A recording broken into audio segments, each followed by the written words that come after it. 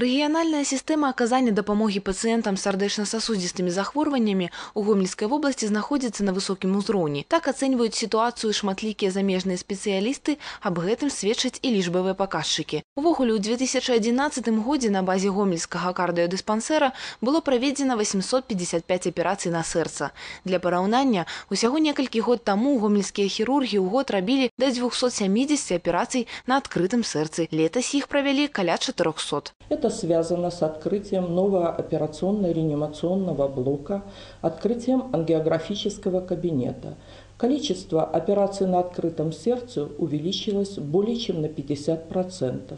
Интервенционных вмешательств при острой коронарной патологии почти в два раза. Дзякуючы гэтаму смяротнасць сярод насельніцтва рэгіёну ад захворванняў сістэмы кровазвароту знізілася больш чым на 6%. У планах паступова павялічыць агульную колькасць аперацый на сэрцы да тысячы ў год. Сучаснае медыцынскае абсталяванне гэта дазваляе, аднак тут узнікае кадравае пытанне. Хирургом стать это необходима определенная и должная подготовка длительная, а не только материально-техническая база, которая сегодня позволяет у нас проводить самые сложнейшие операции. Для больш якаснай падрыхтоўкі кадраў медыкі гомельскага кардыёдыспансэра вывучаюць вопыт замежных калег. Між тым апошнія ў сваю чаргу адзначаюць высокую кваліфікацыю нашых хірургаў. Такі ўзаемаабмен навыкамі прыводзіць да асваення новых спосабаў і метадаў хірургічнага лячэння сардэчна-сасудзістых захворванняў. Як прыклад, сёлета плануецца развіваць у рэгіёне новы накірунак на ўзроўні рэнтген эндаваскулярнага ўмяшальніцтва.